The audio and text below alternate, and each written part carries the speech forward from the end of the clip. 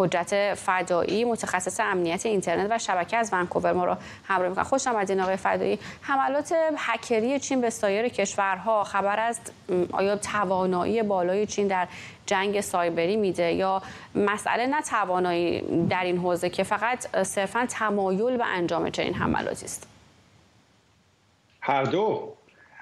تاریخچه حملات سایبری چین نشون میده که چین بسیار بسیار در این زمینه نه تنها قدرتمنده و قدرتمندتر هم شده از سالهای گذشته بلکه الان توانایی حمله های مخرب رو هم پیدا کرده.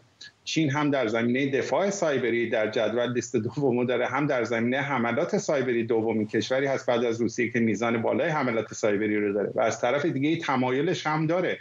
به خاطر اینکه با این حملات سایبری می‌تونه با هزینه بسیار کمی به اطلاعات بسیار زیادی دسترسی پیدا کنه که در زمینه تجارت در بسیار ارزشمند هستند. می‌تونه ایجاد ناپایداری در مناطق مختلف بکنه از راه دور با هزینه کم و بدون اینکه گاهی رد پایی باقی بذاره. و در این زمینه می‌تونه همچنان رقیب ایالات متحده باقی بمونه در زمینه تجارت. دولت ها و سازمان ها چطور می‌تونن به این تهدیدات سایبری که از طرف چین اتفاق میفته پاسخ بدن؟ اکثر تهدیدات سایبری زمانی صورت می‌گیره که اشکالی در سیستم ها هست که هنوز مالک اون سیستم ازش مطلع نیست. به همین دلیل بسیار سخته. یکی از تنها راههاش اینه که یکی از راههای خوبش به اصطلاح اینه که بتونن سیستم ها رو قدرتمندتر کنن راه نفوذ رو ببندن.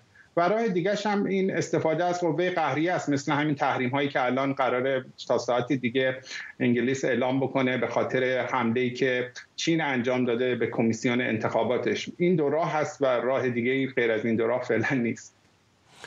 اصولا از نظر شما توافق نامه هایی برای رسیدن به جنگ سایبری و جاسوسی سایبری در روابط بین کشورها وجود داره؟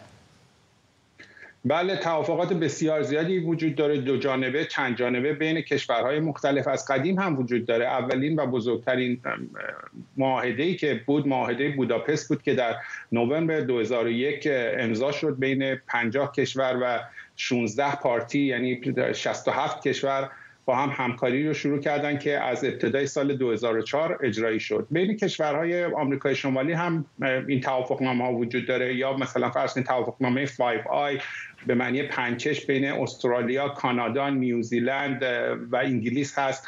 توافقنامه های بسیار زیادی وجود داره که حتی بین آمریکا و چین هم یک معاهده cyber security ما داریم که این دوتا با هم دیگه امضا کردن.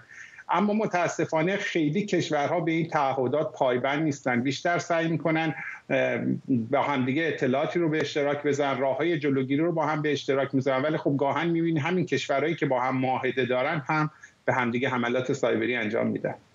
ممنون از شما. حجت فدایی متخصص امنیت اینترنت و شبکه از ونکوور ما رو همراهی کردید.